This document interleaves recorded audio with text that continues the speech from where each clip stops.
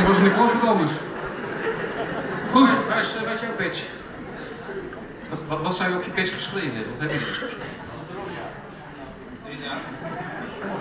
De ideaaltist? Ja, dat kan niet missen met de tekst die je maakt. eh. Jim, eventjes nog eh, de spulletjes ophalen hier. Want die worden uitgereikt. Goed.